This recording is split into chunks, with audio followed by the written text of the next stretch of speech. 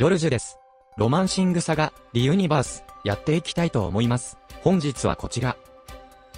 最終防衛システム、ロマンシング戦、やってみよう。31周年イベント、最終防衛システム、ロマンシング戦がやってきました。早速、この高難度バトルに挑戦したいと思います。最終防衛システムの体制は、だが、大弱点、熱が弱点になっています。そして、してくる攻撃のほとんどが打属性攻撃になります。パーティー編成はこちら。デザートランス界で、戦闘は私のお気に入り、盾役にコットンです。後列は、最終防衛システムの重攻撃の威力と命中を下げるため、器用さでバフができる、ビューネート、ダーハーを入れています。リーズは、回復、知力でバフ、他のアタッカーと一人三役です。イスカンダールは、持ち前の耐久性能から、高難度バトルの適性が高く、打属性攻撃ができるため、アタッカーとして入れています。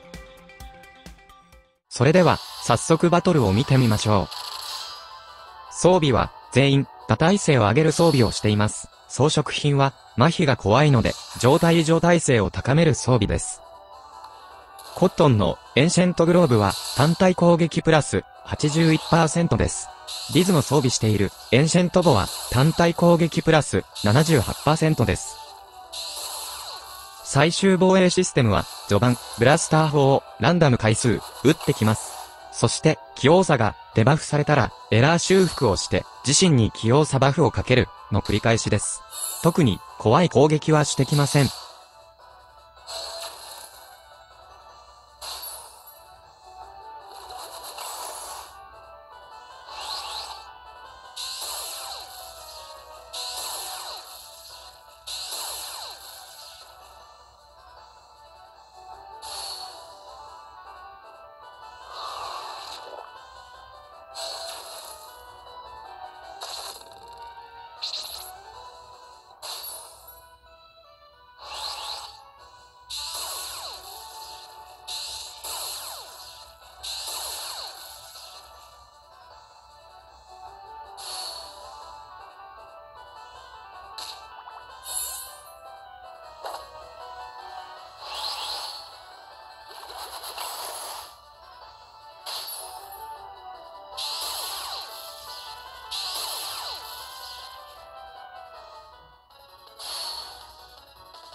BGM が変わりました。ここから最終防衛システムの動きが変わります。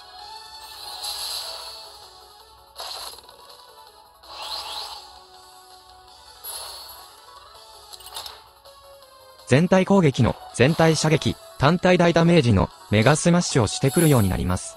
メガスマッシュは直接攻撃のため、コットンでこの陣形なら怖くはありません。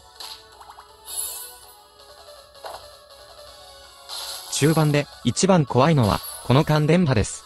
横一列に、麻痺不要の電撃攻撃をしてきます。この麻痺を防ぐため、知力でバフ薬を入れています。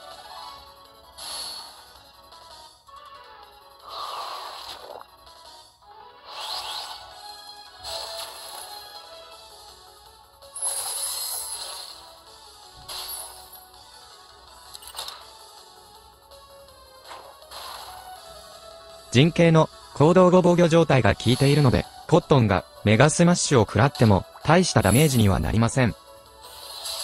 打属性大弱点で打属性攻撃をしてきて、しかも、鈍足のボスとなると、コットンにとって絶好の餌になってしまいます。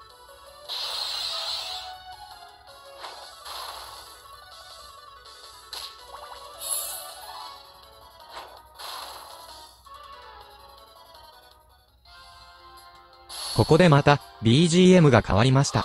最終フェーズへ移行する手前の言ってみれば警報のようなものでしょうか。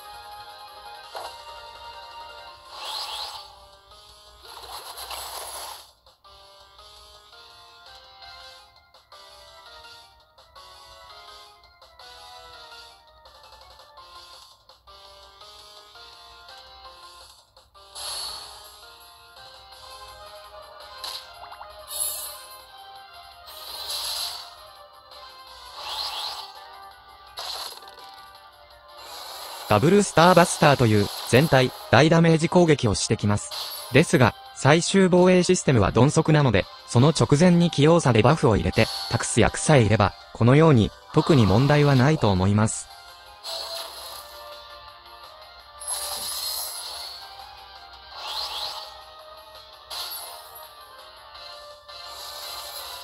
あとは、エラー修復と、全体攻撃のスターバスターを、毎ターン連打してくるだけなので、器用さでバフを欠かさなければ、耐えきれると思います。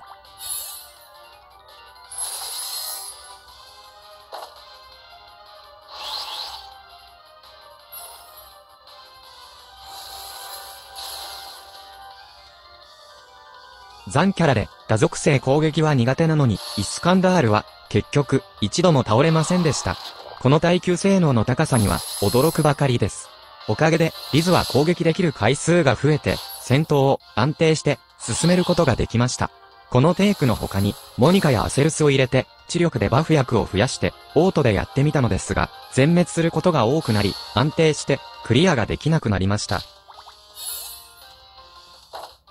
そろそろ戦闘が終わりそうです。